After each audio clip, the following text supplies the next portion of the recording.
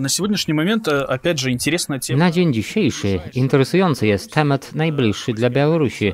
To jest polska granica, gdzie niedawno był premier Tusk i zapowiedział, że nowe środki zostaną przeznaczone bezpośrednio na rozbudowę fortyfikacji na granicy. Co ciekawe, dość często dyskutujemy, a moim zdaniem ten sam Tusk wielokrotnie powtarzał, że skradziono ogromną ilość pieniędzy podczas budowy muru Dudy Morawieckiego. Teraz Tusk wchodzi w te same projekty, ale wydaje się, że w tym samym celu. Tylko teraz Morawiecki będzie oskarżał Tuska o kradzież pieniędzy. Czy pana zdaniem jest to projekt medialny, interes korupcyjny czy polityczny? Co się za tym kryje? Myślę, że tutaj, jak zawsze, w tak skomplikowanych procesach następuje wzmocnienie rezonansowe, rezonansowe oddziaływanie różnych składników. To, że jest tu element korupcyjny, nie wątpię w to ani przez chwilę.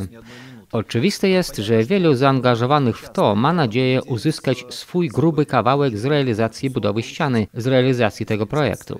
I nie lekceważyłbym tego komponentu. Może jest on nawet jednym z wiodących, ponieważ promowanie tego projektu, przełamywanie wszelkiego rodzaju przeszkód, które jednak istnieją, nie jest łatwe. Tam i ekolodzy deklarują swoje protesty, również znaczna część polskiego społeczeństwa nie jest z tego wszystkiego zadowolona. I pamiętamy list przedsiębiorców z województw Polski Wschodniej, który został wysłany do polskiego rządu, w którym domagali się złagodzenia zakazów, które są obecnie wprowadzane na granicy w zakresie tranzytu towarów. To bezpośrednio szkodzi interesom gospodarczym polskiego biznesu, a więc państwa polskiego, polskiego budżetu i wszystkie te trudności muszą zostać przezwyciężone. Wymieniłem tylko niewielką ich część. Muszą istnieć ku temu motywy. Myślę, że te motywy są po prostu interesem osobistym, ale nie sądziłbym, że ten projekt jest czysto korupcyjny. Myślę, że musimy spojrzeć głębiej, a głębsze jest to, że obecnie Europa staje się coraz bardziej zamknięta w sobie. Oddziela się od innych. Zewnętrzne przyczyny tego lub preteksty nazwał je Josep Borrell. Jesteśmy ogrodem Edenu, a reszta to dżungla. Chcą więc chronić swój rajski ogród. Ale są też inne powody. Polegają na tym, że Europa coraz bardziej manifestuje swoją rasystowską istotę. Aktywnie się militaryzuje. I to wrogie podejście do świata zewnętrznego staje się coraz bardziej wyraźną dominantą europejskiego światopoglądu, europejskiego myślenia klasy politycznej.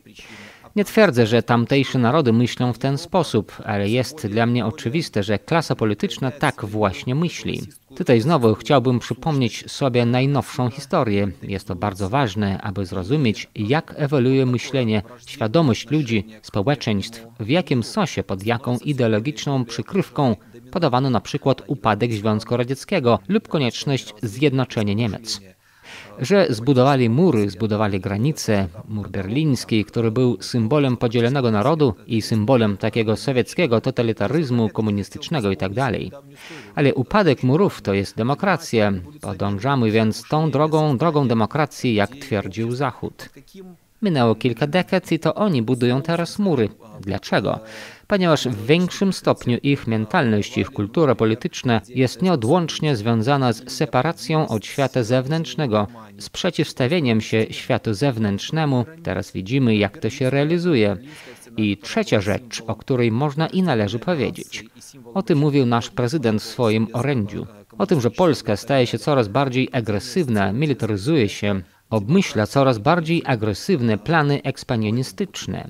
Służy temu tworzenie grupy uderzeniowej wojsk na granicach z Białorusią i ogólne tworzenie armii, której wyposażenie i wyszkolenie ma charakter ofensywny. Myślę, że budowa tego muru w zasadzie również wchodzi w tę logikę, logikę militaryzacji i przyszłej agresji, perspektywy przyszłej agresji.